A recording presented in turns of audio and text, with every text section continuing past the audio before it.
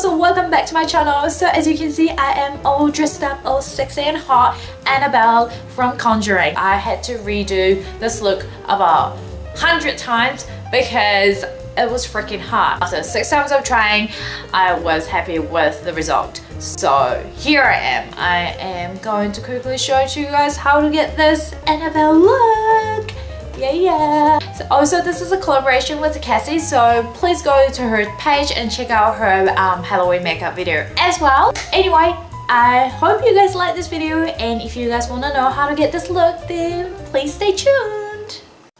Alright so I'm just gonna start off with applying my moisturizer as usual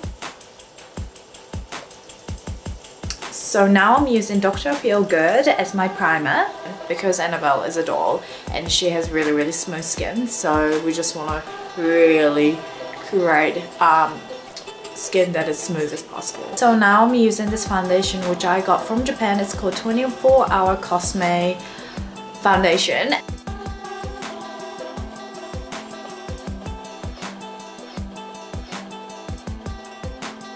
Really really make sure that your face is nice and covered and that there will be no blemishes whatsoever because with doll face it's really really important to have that really clear skin. I'm gonna apply a little bit on my neck as well just to blend it a little bit. So now I'm going to set my foundation with this powder right over here. This is by Angel Color. I feel like if you want to go for that creepy makeup, I mean creepy doll makeup look, um, it's always best to go for that lighter look just to give that little bit of plasticness. I really really recommend using something like this for your skin if you want to go for that really matte smooth finish. So now I'm going to be using Jumbo Eye Pencil by NYX and I'm going to be using this around my eyes which is going to open up my eyes really wide. So with the top eyelid, I'm going to stop at this point because we're going to be applying eyeshadow after for the rest of the eyelid. So now I'm taking Stila Natural Eyes eyeshadow palette and we're taking this color called Sandstone, which is right over here. I know I have been using this color so much so there's pretty much none left there. And we're just going to be applying it right at the bottom of the white eyeliner we have applied before. And basically what I'm going to be doing now is I'm going to be applying uh, the same color that we have just applied before um, with this angled brush right over here and we're just going to be drawing a line onto our top eyelid. So now I'm taking this blending brush right over here and we're just going to basically applying this color onto the outer corner outer corner of our eyelid. And you want to basically blend this color with everything else I'm now taking this white eyeshadow right over here. I find Jumbo Eye Pencil by NYX is a great product whatsoever, but it creases pretty easily. So uh, by using eyeshadow on top we'll set that cream in place and uh, it's gonna last you a lot more longer. Now I'm taking this color called Ebony right over here, which is really, really matte black. I am going to be lining my bottom eyelid. Next, I'm using Bliss which is right over here. Basically, I'm going to be applying Bliss around my eye to really, really blend that brown. So now I'm taking my Candy Doll um, black eyeliner pencil and I'm going to be applying this onto my top waterline. And now I'm going to be creating a cute little winged eyeliner.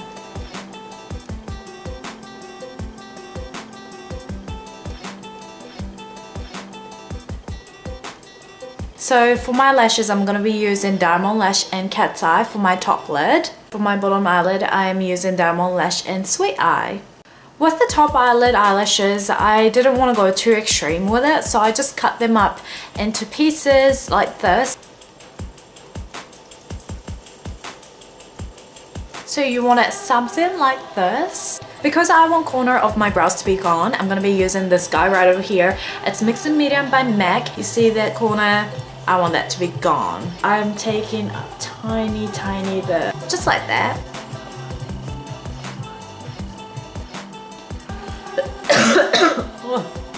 I think I'm getting sick. So once it's dry, I'm to be using some concealer to really just clear that bit. Now I'm taking this guy right over here again. This one is Embark by MAC, which I have used before. You can see sort of like the shadow coming through from my brow to my nose. You can't really tell because I'm Asian, so I don't really have a nose bridge, but you know what I'm talking about. We want to create a nose bridge.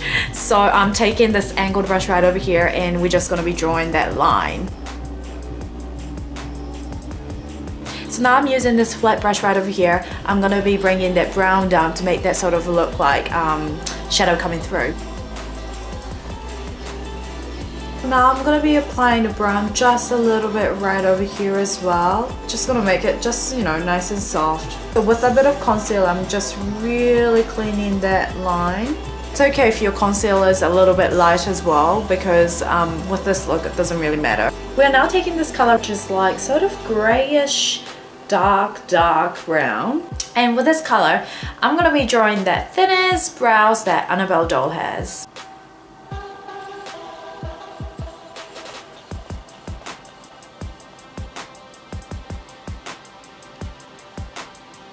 Alright guys, we're going back for the sandstone again and we're doing fun contouring. So like Annabelle has very, very, very tiny nose. So I'm going to try and create that.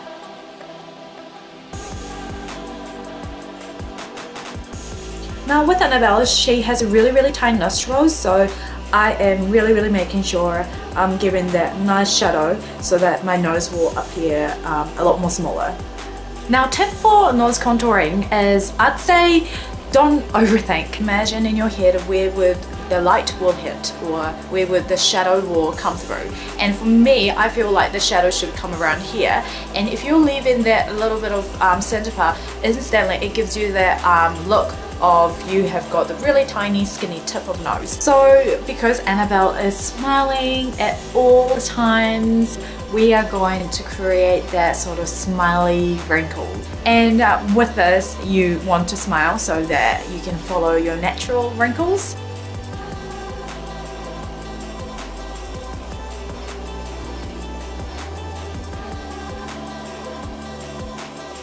For my lips, I'm using this lip pencil by MAC and it's called Cherry. So before I apply anything on my lips, I'm going to apply a bit of foundation to clear any pigmentation that's on my lips.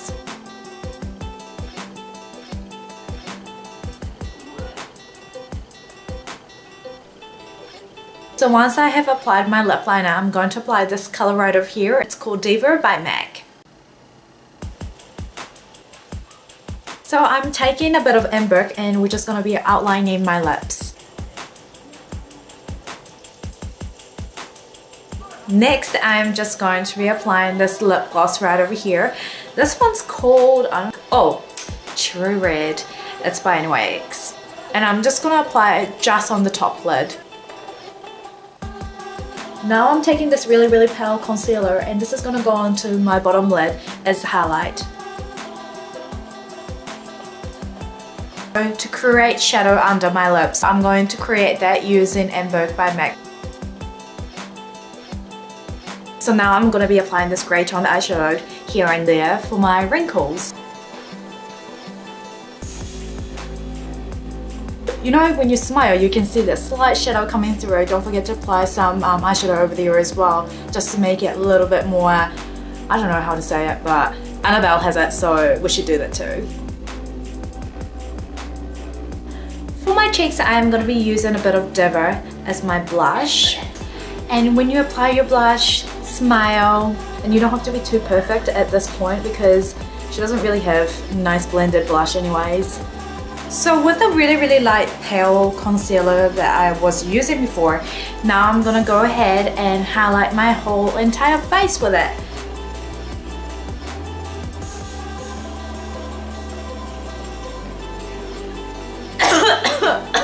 Oh my god. So nearly done guys. So lastly, I'm going to draw a little bit of cracks on my face because Annabelle has that so I have to do it.